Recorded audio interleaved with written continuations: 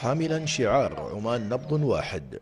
كما يحمل عالم السلطنة على ظهره اختتم الرحالة العماني أحمد باعمر رحلة المسير على الأقدام والتي انطلق بها من أقصى جنوب عمان ليصل لنهاية رحلته في أقصى شمال السلطنة بمحافظة مسدم حاملا عددا من القيم والرسائل الهامة. طبعا رحلتي عمان نبض واحد مجتمع واحد شعب واحد تاريخ واحد حاضر واحد مستقبل واحد. وحدتنا في الداخل ونعم الله سبحانه وتعالى نتعاضد بإذن الله أن نقويها وأن تكون أكثر تماسكا بإذن الله وهي كذلك. أن الإنسان يستطيع أن يحقق أحلامه وطموحاته يعني بأن يستعين بالله سبحانه وتعالى وأن يبذل الأسباب وأن يجتهد وإن شاء الله يصل إلى أهدافه وطموحاته. قرار أن أبدأ هو الأكثر تحدي أمامي ويمكن الأسبوع الأول يعني كان يعني مجهد قليلا ولكن بعد ذلك الحمد لله صرت أستمتع بهذه الرحلة.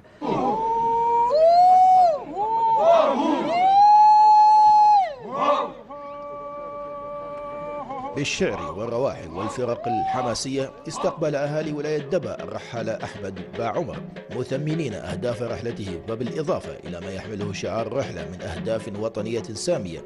فقد وضع الرحالة باعمر أهدافا أخرى تتعلق بالجانب الصحي وتحفيز الجميع لممارسة الرياضة لنحظى بمجتمع صحي منتج وفعال. كما يعد الجانب السياحي حاضرا في أجندة أهداف الرحالة أحمد حيث تخللت الرحلة مروره في عدد من محافظات السلطنة واكتشاف العديد من المفردات السياحية والطبيعية التي تزخر بها مختلف ولايات السلطنة. حقيقة الذي فاجأني يعني بحكم أن الرحلة يعني تقريبا 37 يوم إلى الآن يعني مريت فيها من أقصى جنوب عمان وبإذن الله إلى أقصى شمالها هناك من المقومات السياحية اللي اعتبرها أنها يعني تعتبر متميزة على مستوى العالم. يعني تعج يعني بها عمان في كل ولاية تقريبا على الساحل. فعندنا يعني من المقومات السياحية التي تعتمد على جمال الموقع وعلى أيضا عراقة التاريخ. فكنوز يعني كبيرة جدا.